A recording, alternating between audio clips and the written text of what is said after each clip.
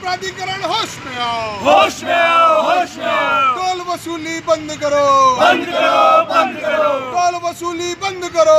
बंद करो बंद करो। टोल वसूली बंद करो। बंद करो बंद करो। टोल वसूली बंद करो। बंद करो बंद करो। राष्ट्रीय राजमार्ग प्राधिकरण होश में आओ। सबसे पहले नचेई कार्यालय पे राष्ट्रीय राजमार्ग प्राधिकरण पे कार्यालय पे जाके ज़बरदस्त प्रदर्शन किया।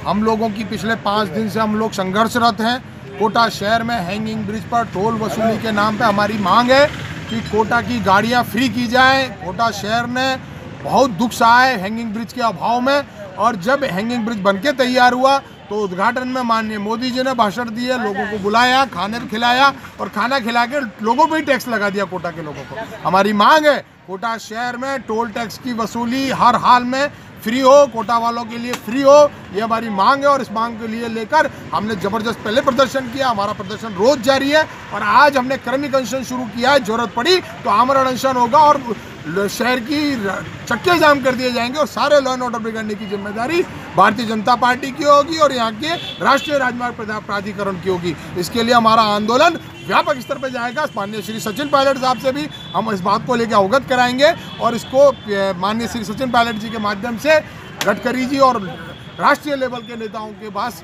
उनके यहाँ से लेटर लिखवाए जाए